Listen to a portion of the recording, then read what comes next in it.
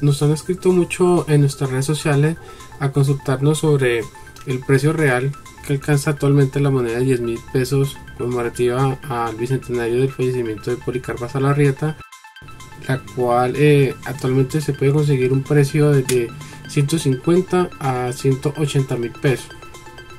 Eh, la única manera de poder saber si esa moneda está sobrevalorada es comparándola con otra moneda. En este caso vamos a hacer una comparación con la moneda de un peso conmemorativa al bicentenario de la Casa de la Moneda de Bogotá, la cual fue emitida en el año 1956. Es una moneda la cual fue acuñada en plata ley 900.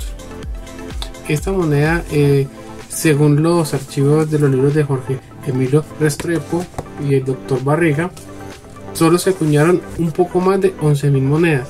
Inicialmente eh, se ordenó la acuñación de 50.000, pero finalmente solo salieron un poco más de 11.000. Eh, esta moneda, de acuerdo al catálogo del el doctor Pedro Pablo, nos dice que esta moneda alcanza un valor entre los 250 mil pesos en regular estado hasta un poco más de los 300 mil pesos.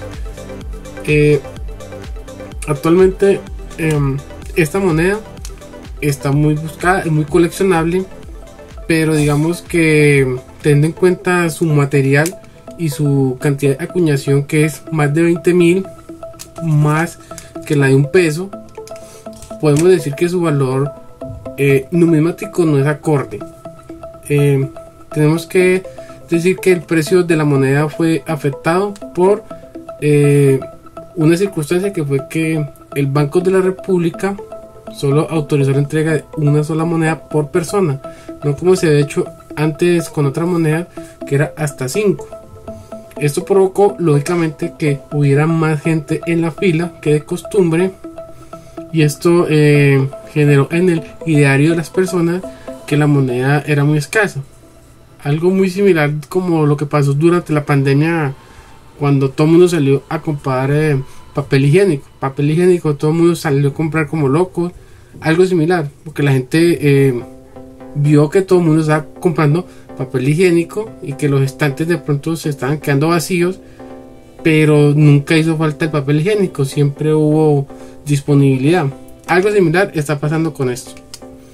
Entonces, podemos afirmar que la moneda de Policarpa Salarrieta efectivamente sí está sobrevalorada.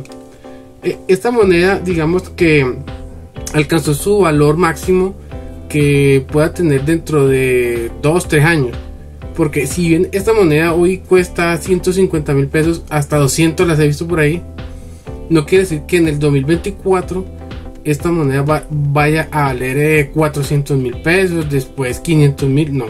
Es el valor máximo que pueda alcanzar eh, dentro de los primeros 5 años. ¿Por qué? Porque digamos que para este año van a salir otras monedas. Viene la de 10 mil pesos de, eh, del bicentenario de, la Armada Colombiana. Entonces ya esta moneda va a pasar a un segundo plano porque ya la gente va a querer adquirir la anterior. Esa es como la ley del el mercado, eh, oferta y demanda.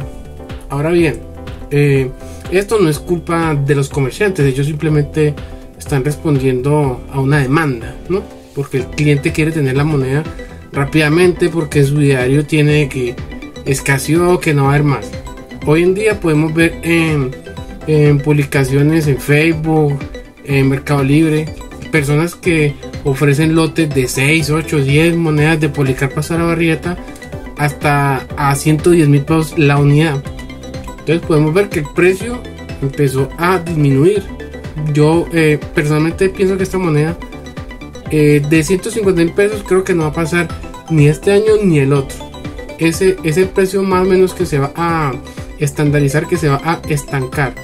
Porque como vuelvo y le repito, si usted la compró en 180 mil pesos, le puedo asegurar que el próximo año no la va a poder vender en 300 mil pesos. Entonces amigos, eh, eso es lo que quería contarles. Espero que les haya servido. Bye.